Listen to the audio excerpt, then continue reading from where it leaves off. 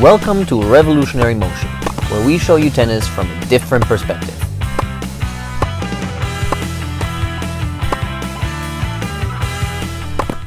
Today I will explain to you the secret tactics that work against any tennis player at any level. So if we're taking a look at the court here, I put four cones on the court.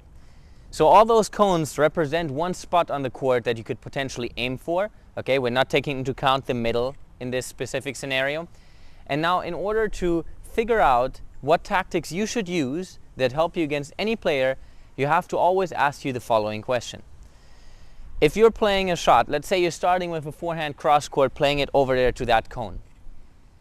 The next shot after that is decided by taking a look at all four cones and thinking about which cone is the furthest away from the cone that you just aimed for, uh, for on the last shot. So if you played that uh, forehand cross court over there, obviously this cone would be the furthest away from that cone. So now you're asking yourself, can I play the ball over there to this cone without a lot of risk? If you can, you should absolutely do so because it will require your uh, opponent to run across the whole court. If you think that it's very difficult for you to, uh, to put the ball over here after playing the ball back there, and this could be due to the fact that your opponent hit a very good shot, or it could just be because you're not in position or you didn't move well or whatever it is. If you cannot play the ball over there, what is the next cone that you could aim for that is far away from the previous cone that can put you into a good position? In this case, that would be this one. Now, the problem is if you can't play a drop shot over here, it's probably difficult to play a drop shot over here as well.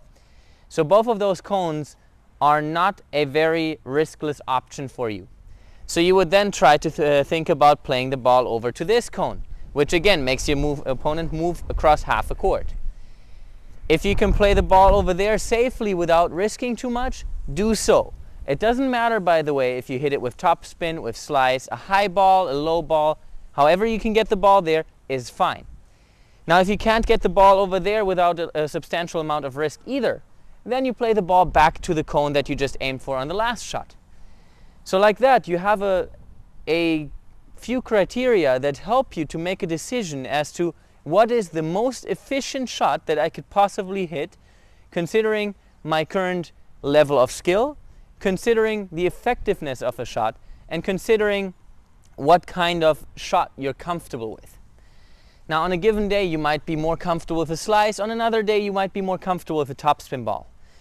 The point is that you're making your opponent move no matter which cone you're aiming for because you're trying to make them move as far as possible, aiming for the cone that you feel safest with that is far away from the original cone you aimed for before.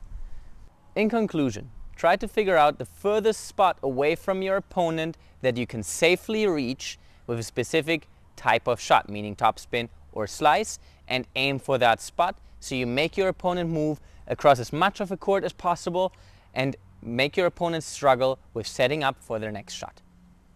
Hope you enjoyed this video. Please like and subscribe and we'll see you guys soon.